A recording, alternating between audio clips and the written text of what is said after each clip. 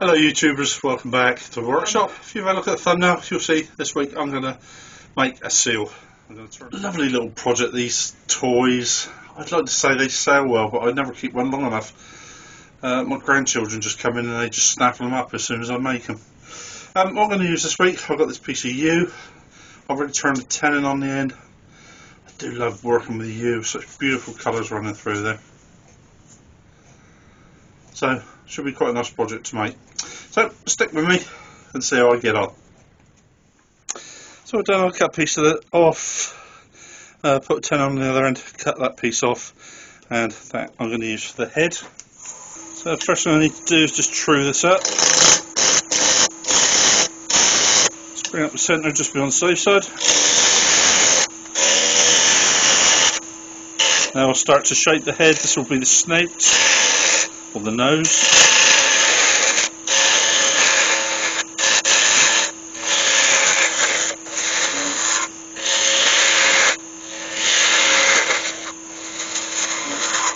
And there you can see the shape there just starting to form now. Going in there my I know how close I can get to my chuck.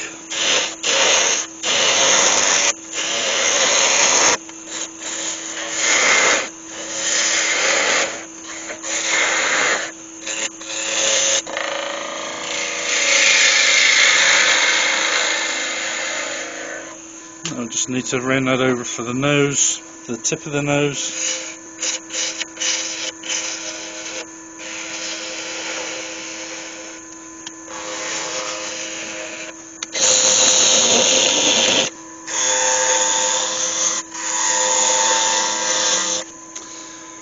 I'll get sand that down, I'll get back to you.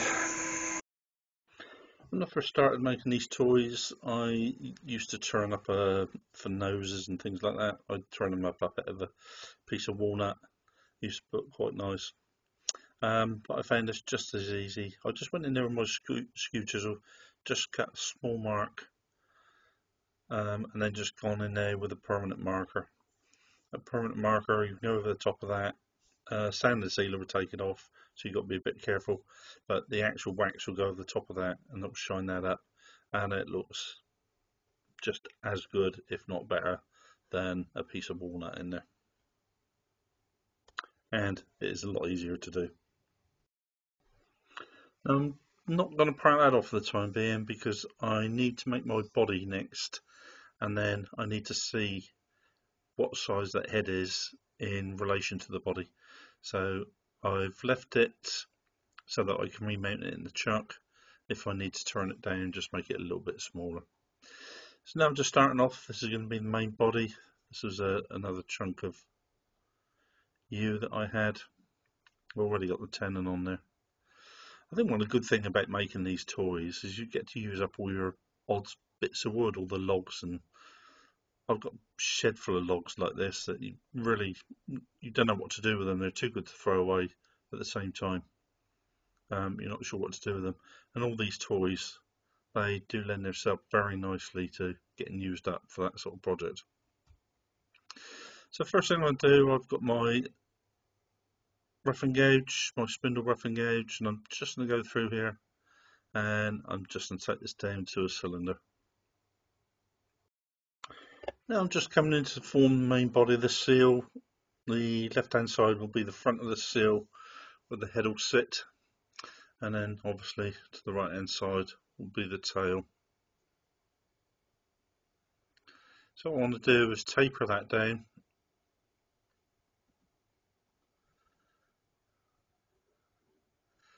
give that a nice tapered shape because all seals as we know are tapered. So it's just a matter of coming through, taking some of that wood away there and then that will be at the back of the seal where it flares out for its tail fins, I suppose they're called. So I just want to very gently roll that over and then there'll be a small hole in there where the, the revolving centre went. I just need to turn that away. And that's that pretty much finished. There was, I don't know if you noticed there was a crack in that running through there. It was quite superficial. But what I'll do is I'll make sure that's on the bottom of the seal when I sand it. And you won't be able to see that. So that's pretty much the shape I want. That's all finished. So I just need to sand that up now. And I'll sand that down to around 320. So that is the final shape I want. Yew is a beautiful wood. Some lovely colours running through there. Shines up beautiful. So first off we'll have a bit of sand sealer on there.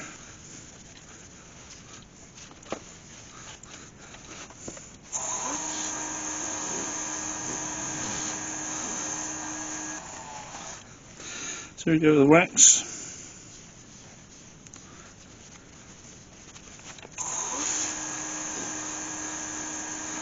Beautiful shine on there. That's lovely. Now I'm going to part that off. Now this is what's going to form part of the tail. So when I part it off I need to get in as far as I can that way.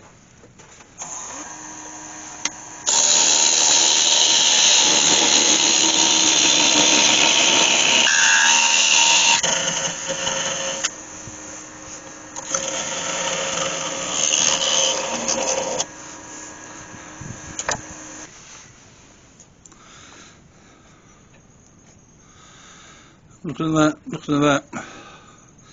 That head's way too big.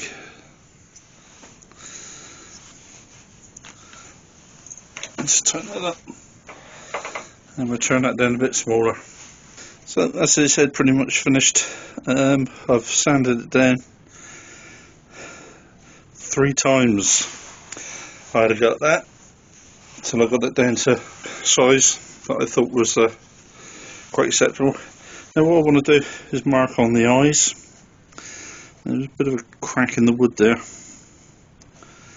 So I'm going to try and put that on the bottom and that will be the top of his head there.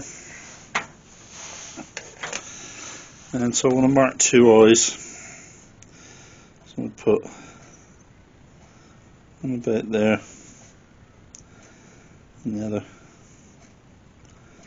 a bit Let's make sure I get them on the same line. I just hold my pencil on there.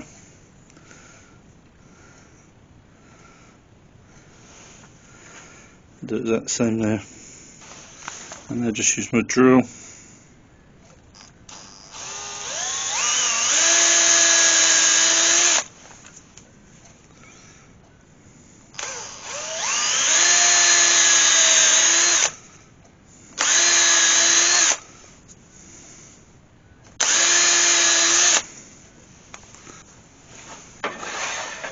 Now we can have a sand sealer.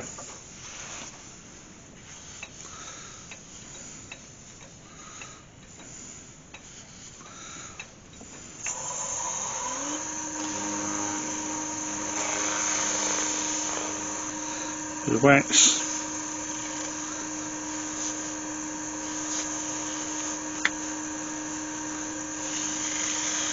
Clean bit of cloth, buff that up. Just part off.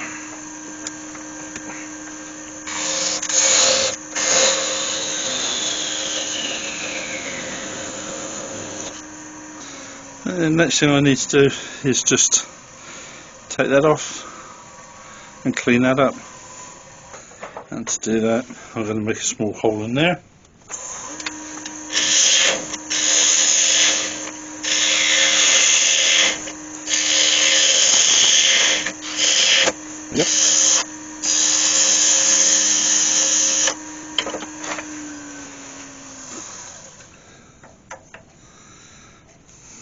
That? No, fits in there. Beautiful.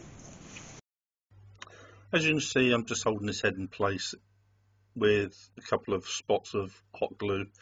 That's just enough to run the sander over there, just to take that all down so it's exactly the same as the rest of the head and just apply a little bit of sand sealer and then a little bit of wax and then it will look all exactly the same and then all I have to do when that's finished is just apply a little bit of brute force and ignorance and just pull that out and it doesn't stain it, it doesn't mark it. It's a really good way of holding that in there and cleaning up. As you see, no marks on there at all. So all that's left for me to do now is just take this body, take it away, I'll put it on the sander, my belt sander and sand it flat on the top. And on the bottom of the seal. Um, I won't bother showing you this because it's not very interesting. So I've just taken it over onto my belt sander and I've sanded that bottom off flat. So it sits there nice. I've sanded a little piece off there for its head to sit on. I've also sanded a small piece on corresponding on the head and I've also sanded the back of that there. And this is the first one I made. Uh, if I made them again, and you would need to make that a lot narrower in there because that was a lot of wood I had to take away from there. I did actually at one point I took that over onto the bandsaw because there was so much to take off. But that's pretty much what I want left. What I need to do now is just make a couple of side flips. And to do that, let's go over onto the jigsaw. So I've not done one of these before, but what I'll do is just make two flippers now. And you see the pencil marks on there? I'll give that a go. I'll make one first, see what it looks like. And if it's okay, I can cut another one. That the same? So um, I thought I need to do that on the fret saw, but I can actually do cut that on the bandsaw that shape.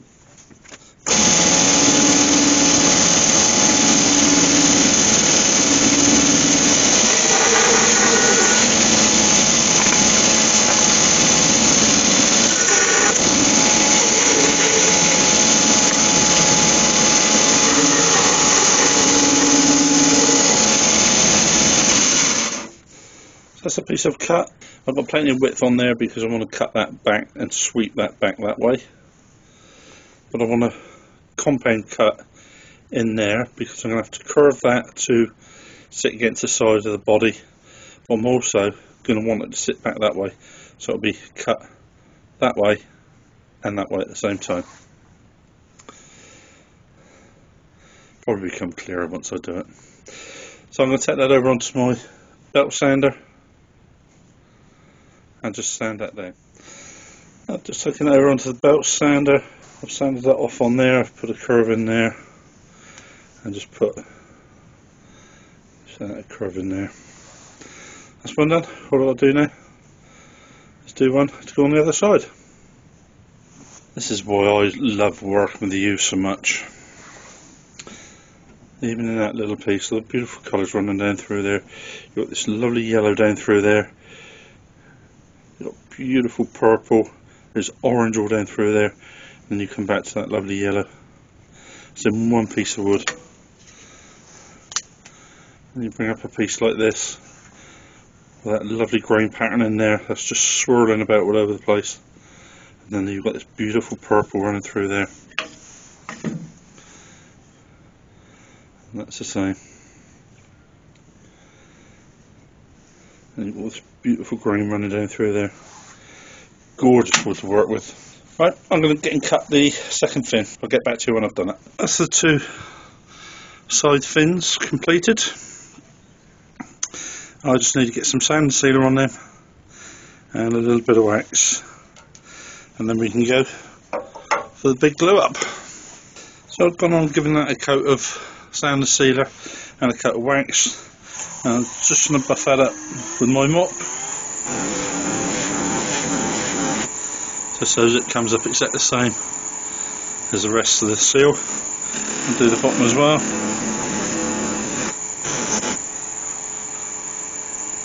Lovely shine on there.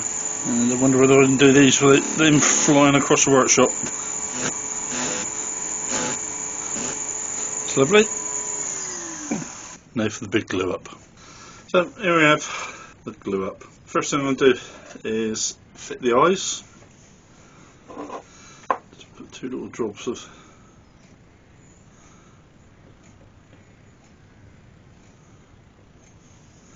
super glue in there.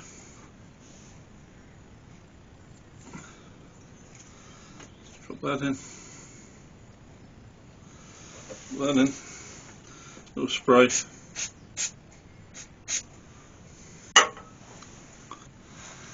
funny as soon as you put the eyes in there the face comes alive. Next we fit the head. Just drill a hole in there.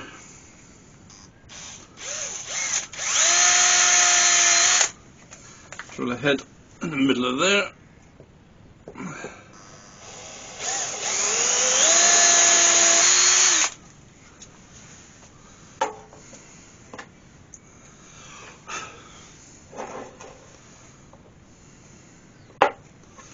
That's good. What you want to do is just turn at a bit of an angle. Like that. So that's lovely. That's in the right place.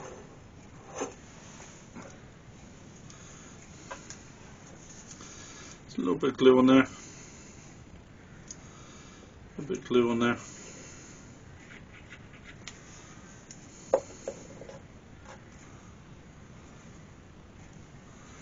Put the dowel back in place. Put that one back in place.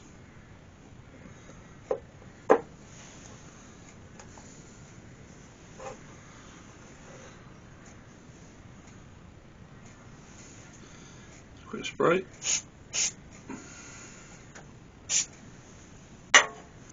Done. And then just need to fix the flippers on the side.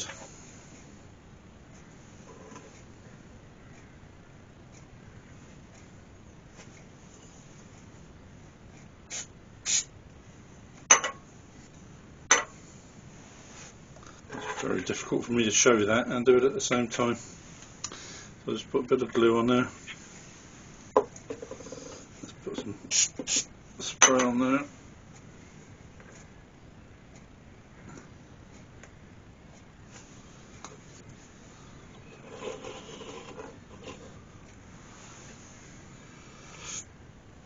It is done. Oh, here we go, YouTubers. All done. One seal.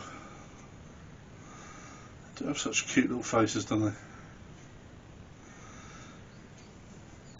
First time I ever turned one of these, um, if I turned it again, as I said earlier, I would certainly make that a lot narrower across there. It took me ages to sand that down to get that sort of thickness there. And if you took that down thinner across there, you wouldn't have half so much sanding to do.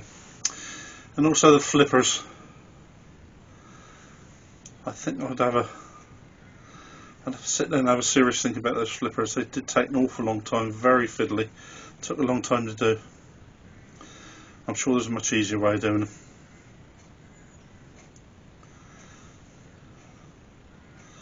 But nonetheless, he's cute. I bet you don't spend long in my house. Probably till the weekend till the grandchildren come up. Those of you who are still watching, thank you very much for that. And I'll see you all again next week. You take care of yourself. Bye bye.